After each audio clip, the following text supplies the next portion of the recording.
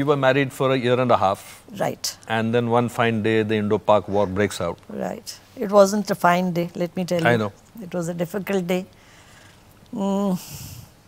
I mean, I, I, believe everybody knows how the war was, and it's so far back in my memory that it's difficult to even want to think about it. But yes, trenches were dug in our houses, and I was.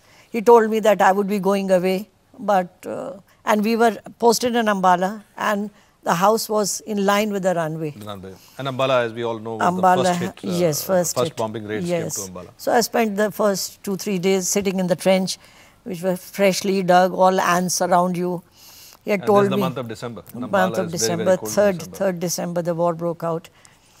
So that was an experience, but uh, even to look back, it was a horrible feeling, very honestly. I wasn't scared then, as I feel scared sometimes, Thinking thinking, now why I didn't feel scared.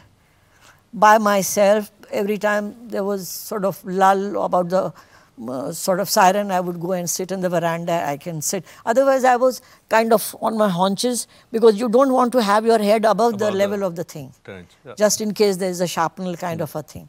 And this is what all he had told me in preparation, not uh, in a classroom, but he said, by and Take by that like you this, be yeah. careful, do like this, do like that. So I was trying to do that, keep a spoon or something in your mouth in case.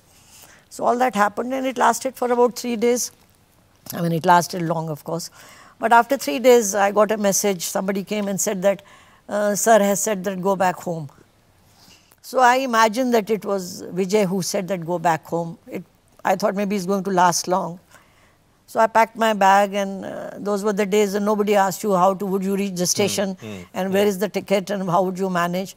So uh, the station was about two and a half, three kilometers from our where we lived. So I walked with my bag in the middle of the night. Barely got into the train because the stoppage was just two minutes. I reached Allahabad at about six o'clock in the evening, and we heard the news on the television, on the radio. Actually, there were no televisions those days, and his name was read out. They were, they were just probably Indian uh, radio or yeah, and Pakistan radio, and very sort of we were able to catch somehow, and they were reading out some names, and I heard his name and two or three names that we could catch. One was his name. So I was, my mother in fact said, why, why are they taking his name? I said, Mummy, maybe they have, he has been imprisoned or something, they have captured him. But uh, I'm happy. alive. Yeah, he's he's alive and he doesn't have to take part in the war anymore.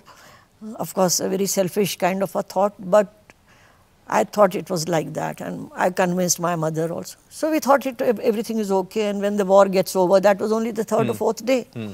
Hmm. And the war ended, and what happened after that, Simla agreement, etc., and then repatriation started.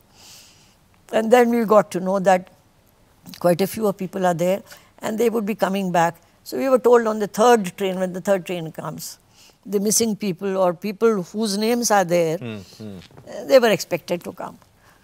But nothing of the sort happened.